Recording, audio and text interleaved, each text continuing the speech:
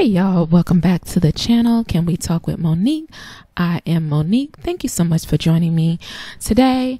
If you don't mind, and if you haven't done so already, please like and subscribe and hit that little bell. That way you are notified of all my uploads. So guys, um, as you can see from this picture, uh, this young lady is on the phone and her nose is growing at an astronomical rate.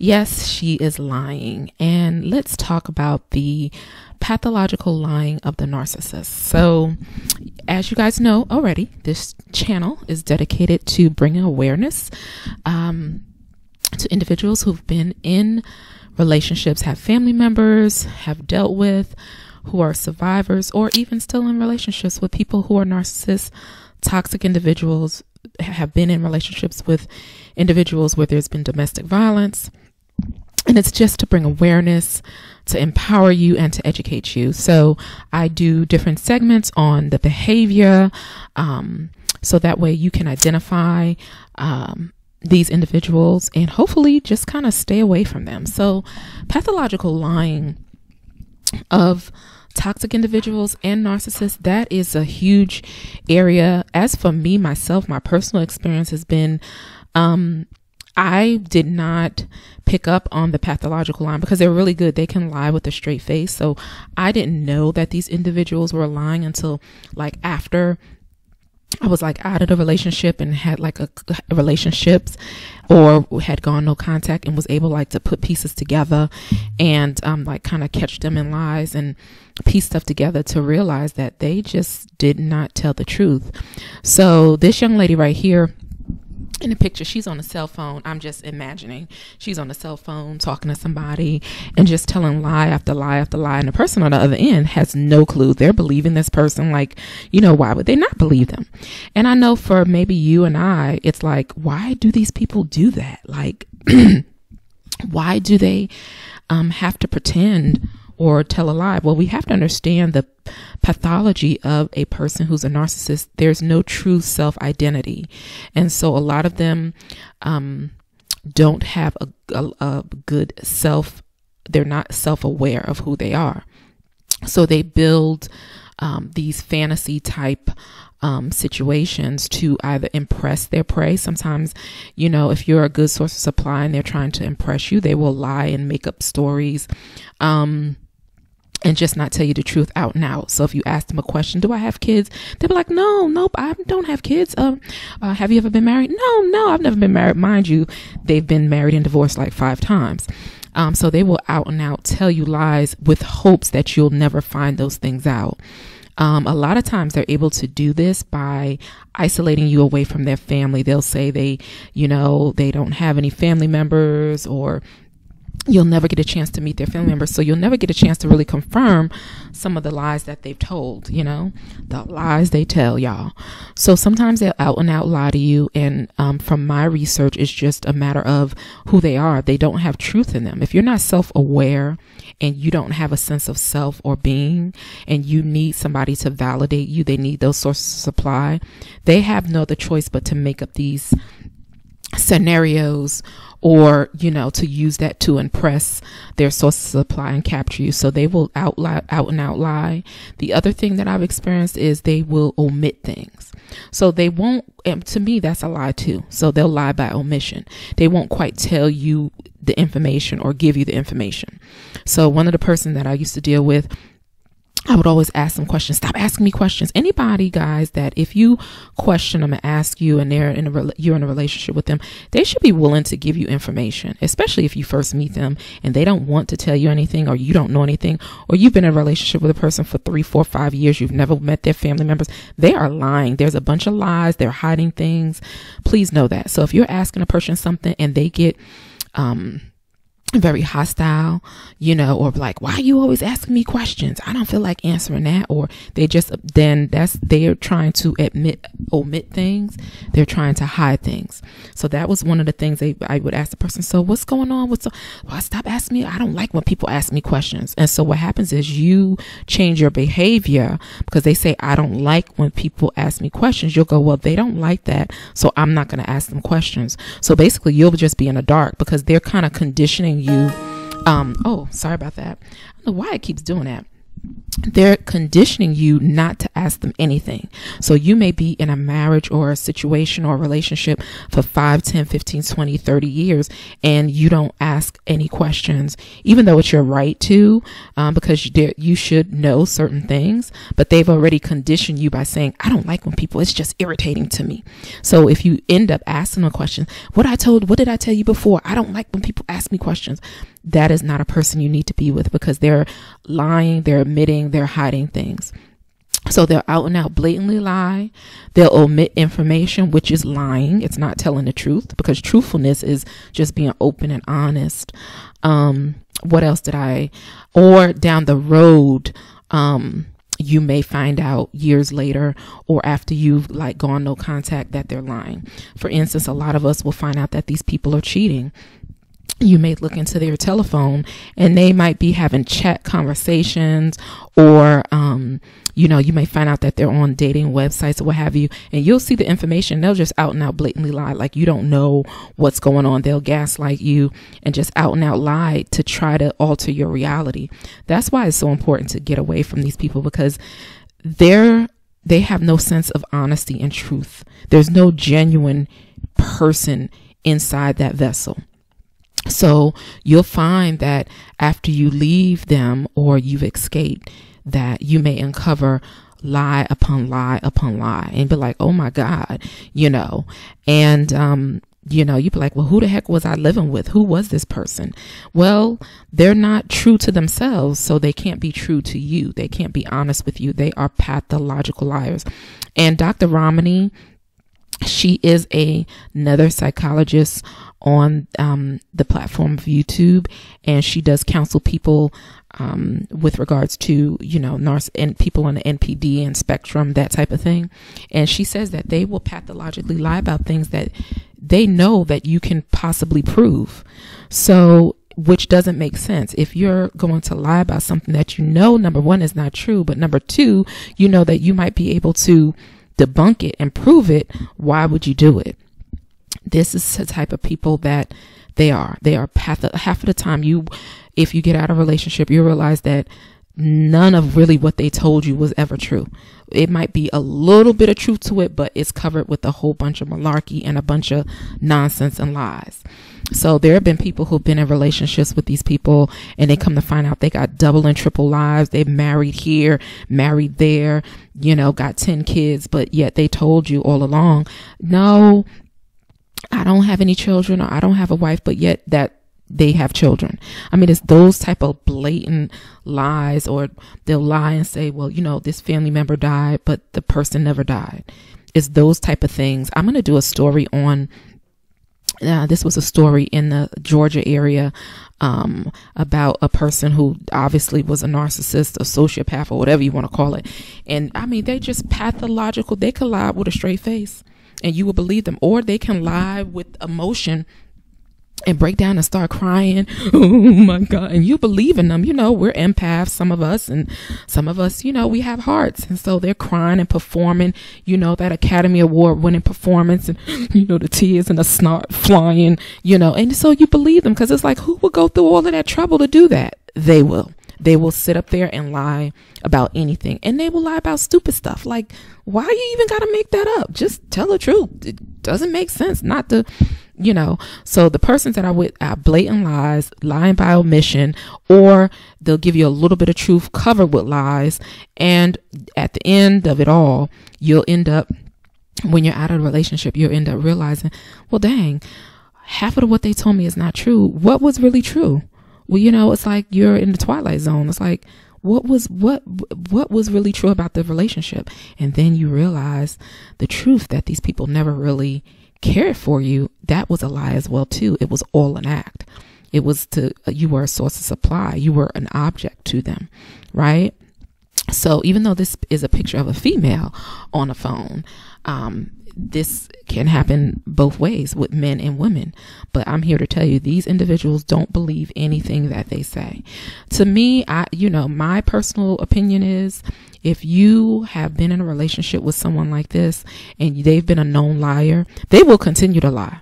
You know, we might forgive them for certain things that they've done, but they will continue to do the same thing and then lie about it over and over again. It, it, it doesn't end, you know. And then when you, the only sometimes way you will realize that they've been lying is once you get out from around their negative, toxic energy, that you can put some two and two together and then realize that these people are pathological lies. They lie with a straight face. It's like they were born to lie right? You know, like I said, they'll put on this Academy Award winning, you know, act. They'll be rolling on the floor.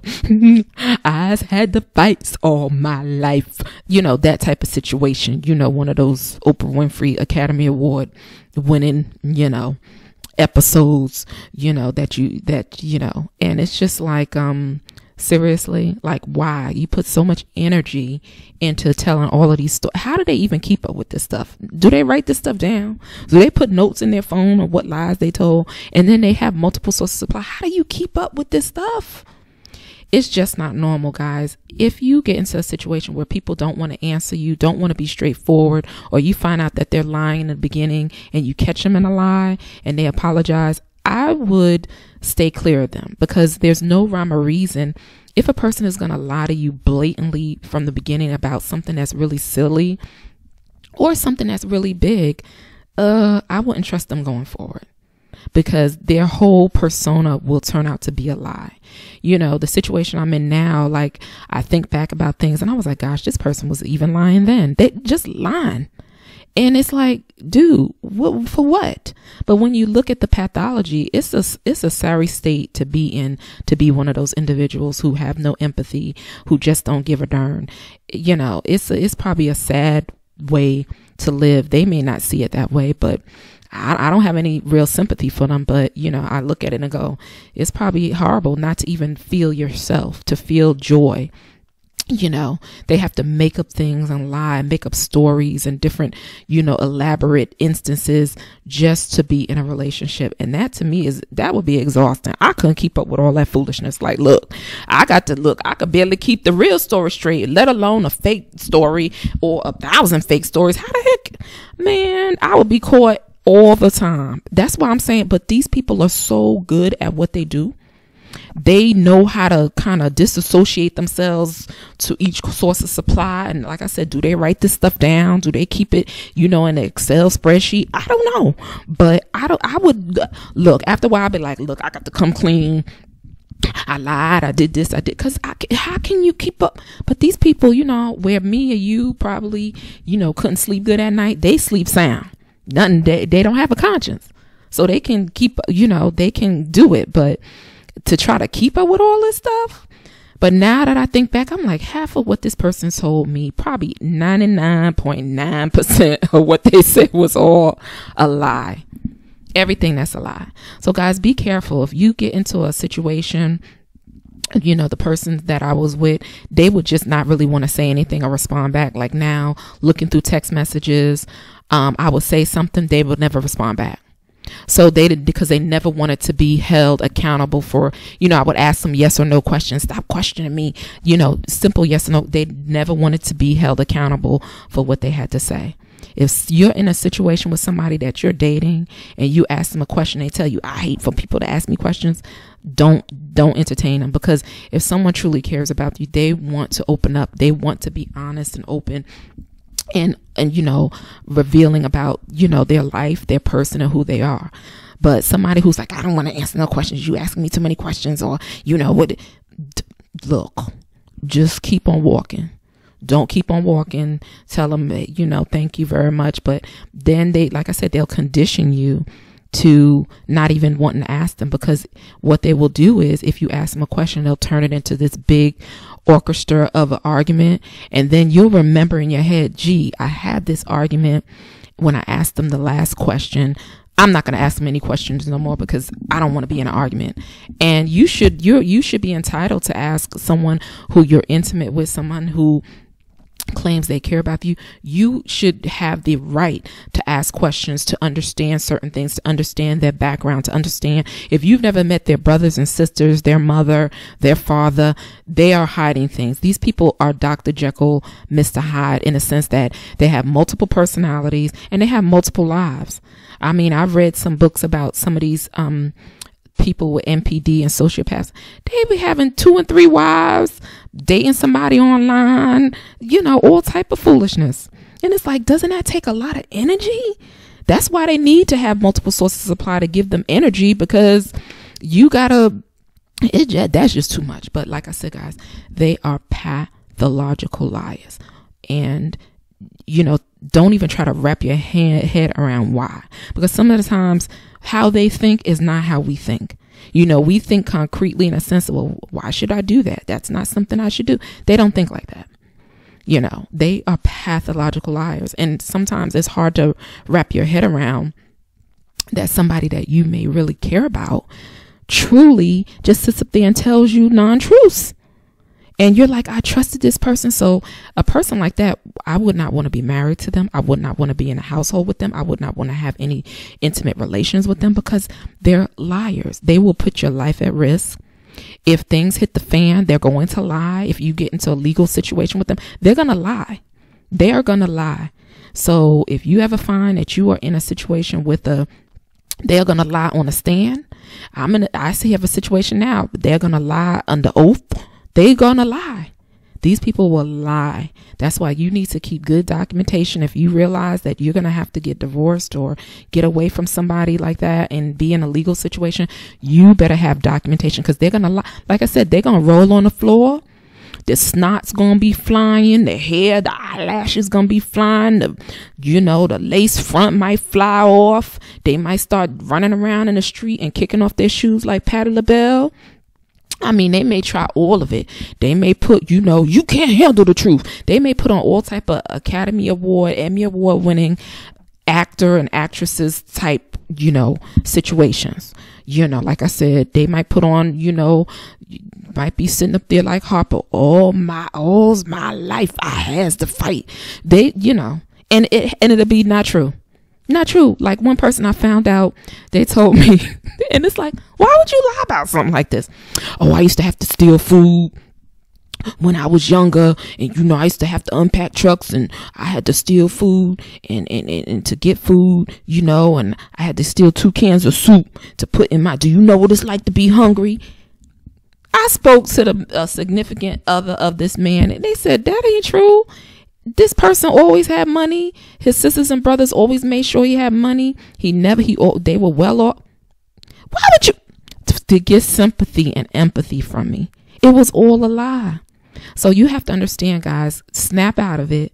Half of what they said, or more than half of what they told you, was not even true. And where those you you know some of the things like where they were, they probably if they told you I'm still at work, they was probably at the club or with somebody else. I mean, none, none, the relationship wasn't even true. So this is just a message to show you that no, you're not alone um, to, because a lot of us, it takes time for us to watch these videos, to strengthen ourselves, to understand, you know, for us to really believe that that's what we were in. You're in the twilight zone. I call it the twilight zone because if you're in a relationship with a narcissist, sociopath, or any toxic person, you are in their reality. They're trying to take your reality where you're grounded and turn it into something else it's the twilight zone. But now, hopefully, with these videos, you're starting to realize what you may have been a part of and you're starting to understand and your eyes are opening and hopefully you're being strengthened by these um, videos so that way you know you're not alone. There's a whole lot of us that are awakening to a lot of different things. We're awakening to what's going on in our environment with the media and politics and all type of stuff. You guys know what's going on out here,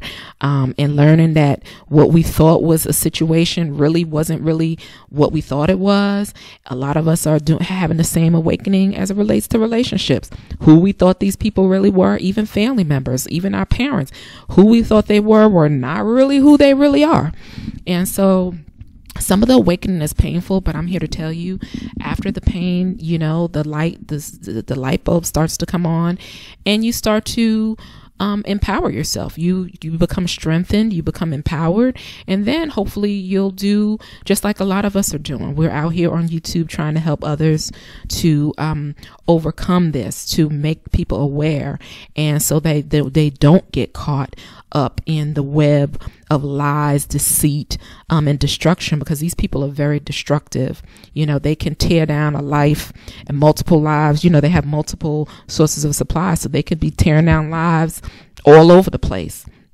So, yes, guys, they are pathological liars. And if you're just coming out of a situation, yeah, more than likely, what a lot of what they've told you of lies.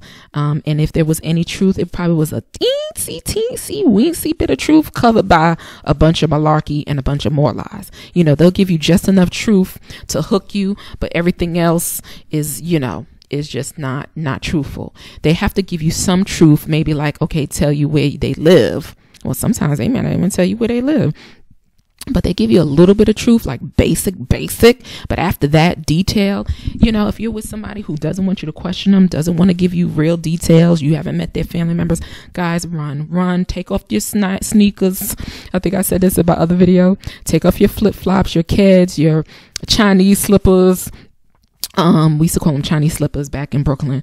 Um take off your you know your reebok you know take them off and run run run. And i'm not saying walk. It, i'm talking about run book. You know like you you know who usain bolt. Just book. Because there's no the best thing to do is to avoid these individuals. Anybody who's not truthful from the beginning and this is what i'm i'm giving i'm actually talking about these videos because when I go back into my life and I see the things, these people were dishonest from the very beginning. They cannot help it. They can, they will try to, eh, you know, capture you, but they, they're just rotten individuals. So they are dishonest from the very beginning. And it is at that point when they're dishonest, sometimes we have chances to escape but we all often tend to give these people the benefit of the doubt and stay and then we become enmeshed and intertwined with them.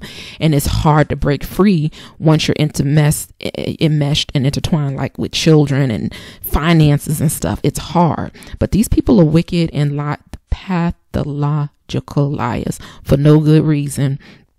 But if you have somebody like i said that's being deceptive because to me if you don't want to if people if you don't want someone to question you or ask you a question or get clarification or get details that means you're being deceptive. That bottom line your is deception you know? And when people are deceptive they're trying to either get over on you or do something to you manipulate you or what have you. That's all the devil's work but those are stories for other days. Hmm, that's why i call them entities. But guys yes we just have to admit it. A lot of the narcissists some of these toxic relationships we've been in, some of them were just absolutely half of what we heard, guys, on the telephone or cell phone at late nights were probably all lies.